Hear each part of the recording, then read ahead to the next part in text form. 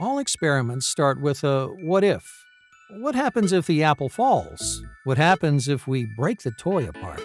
What if we go left instead of right? Hmm, why not? What if we create something you see every day? Hmm, what if we don't?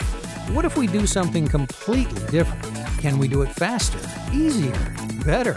There are infinite possibilities for us. We can do anything, go anywhere. We can be anyone, from a data engineer to a tech startup founder.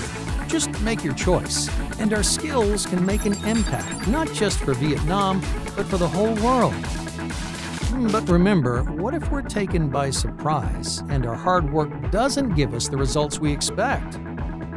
Then we do it again and again until it works, until we succeed.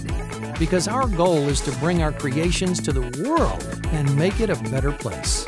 Let's keep asking, what if? Keep experimenting and growing our knowledge. Because in the School of Science and Technology, life is an experiment.